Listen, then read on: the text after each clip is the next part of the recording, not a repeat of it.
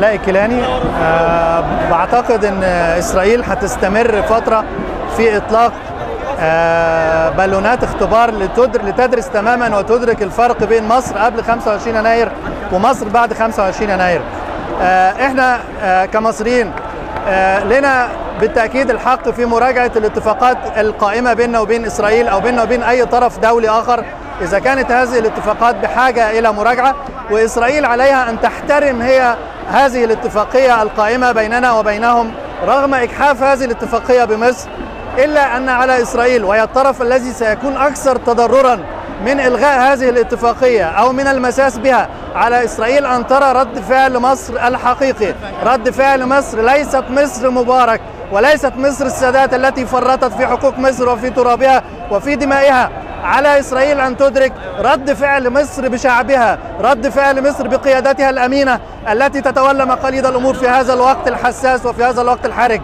مصر لن تكون مصر التي عرفتها إسرائيل خلال العهود الماضية خلال العقود البسيطة الماضية، مصر الحقيقية هي التي تهب الآن، مصر الحقيقية هي التي قام شعبها البطل من كبوته وقام ليعبر عن نفسه في 25 يناير ومصر هي التي ستواصل التعبير عن نفسها. على إسرائيل أن تدرك أن مصر تملك من وسائل الردع المختلفة ما يمكنها من إعادة توازن القوى في المنطقة.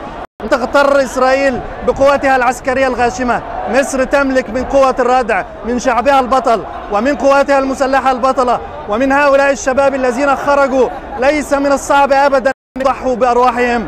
مئات الآلاف بل ملايين من الشعب يمكن أن يضحي بنفسه فداء التراب الوطني وفداء الدماء المصرية الزكية التي أريقت وفداء الكرامة المصرية التي استبيحت في عهد مبارك وعهد السادات. ستعود مصر إن شاء الله قريبا وسترونها. إذا كانت إسرائيل تريد أن تعرف رد الفعل المصري فها هو رد الفعل المصري. هذا هو شعب مصر. بدأ ولن ينتهي. وسنأتي إلى إلى اليوم الذي نريده إن شاء الله. سنأتي إلى اليوم الذي تتحقق فيه كرامتنا بإرادة هذا الشعب البطل وبإرادة هذا الجيش البطل. إنها أزمة حقيقية نمر بها ولكننا سنخرج منها إن شاء الله. مرة ثانية وأخيرة إذا كانت إسرائيل تريد أن تحافظ على كيانها في هذه المنطقة فعليها أن تحترم القوانين والمواثيق وعليها أن تحترم الظروف التي جعلتها تتمكن من هذه الاتفاقية الجائرة.